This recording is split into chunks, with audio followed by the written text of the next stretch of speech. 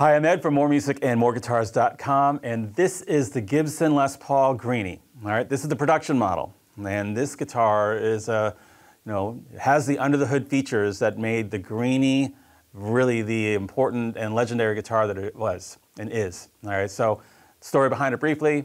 Previously owned by Peter Green, and then in the hands of Gary Moore for many, many years, and now Kirk Hammett owns it. And this thing has greeny buckers with reverse magnetic polarity. The middle position really has a unique tone, and it's because the reverse mounted greeny bucker, you can see how the pole pieces are both facing the bridge.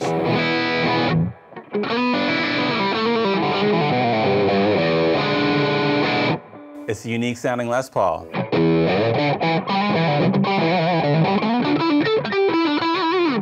Of course, sounds like a regular Les Paul in the neck. And your bridge.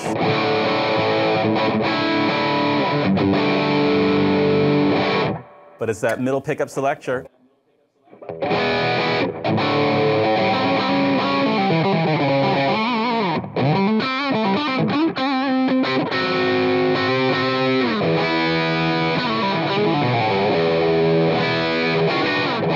Yeah, it's got that squonk to it. Yeah, I said squonk.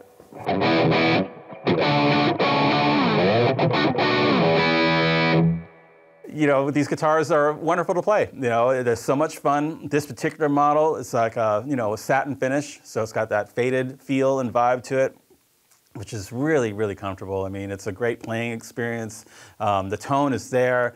Uh, it's beautiful, beautiful top on this guitar. You know they're picking out some really, really beautiful tops to make this thing, you know, uh, stand up to the custom shop version, of course. Um, it's a player, it's a player's guitar. It's available here at Moore Music and MooreGuitars.com.